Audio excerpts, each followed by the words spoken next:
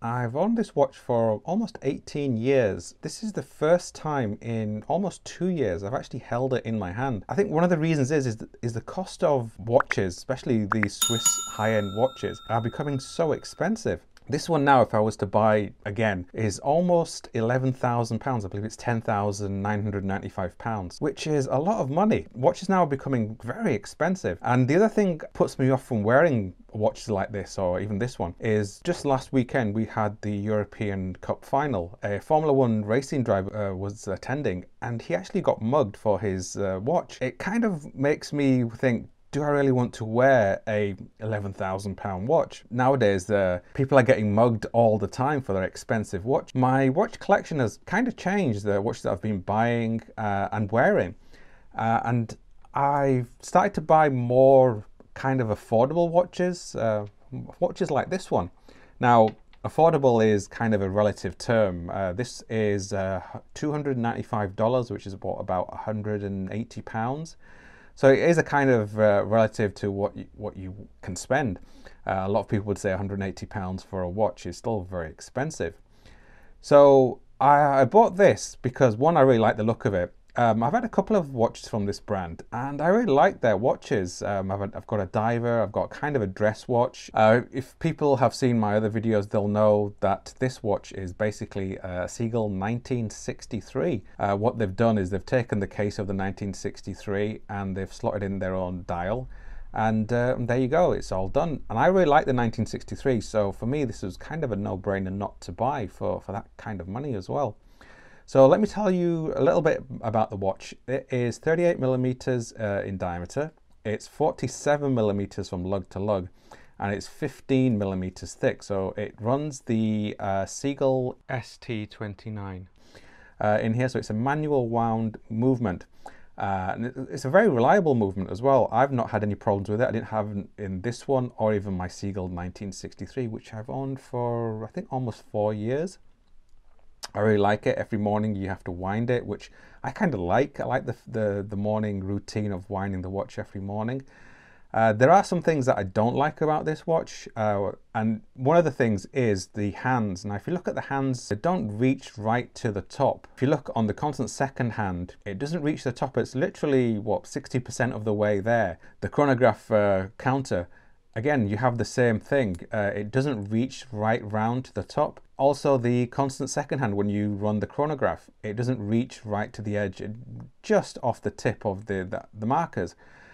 I don't understand why they didn't make it a little bit bigger. It would have been much nicer. That's one thing that I don't like about it. I think that's just about everything that I don't like about this watch, which is quite unusual. I normally have like a, a list of things that I don't like about it. It has uh, an acrylic glass which is going to scratch like anything. But to me, I don't mind it being scratched. It kind of gives the watch a little bit more of character to it.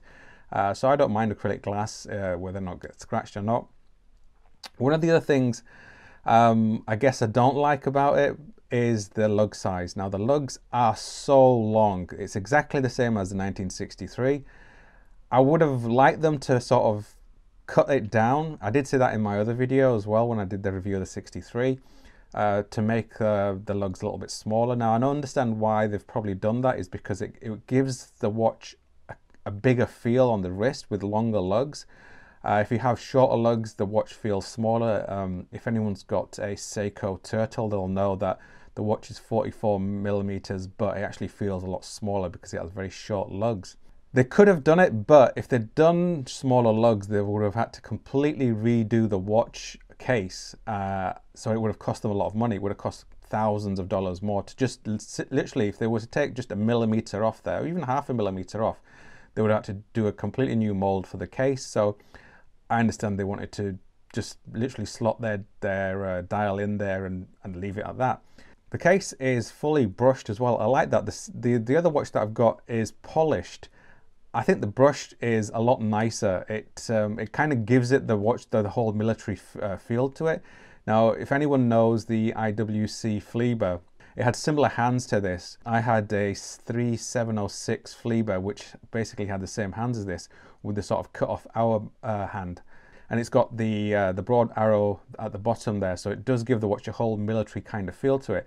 Now, if you were to buy this with, say, a another brand name, um, well-known brand name like Longines or um, Hamilton or something else like that, you'd probably be talking three, four times the price. Um, this now, this is called the Big Eye.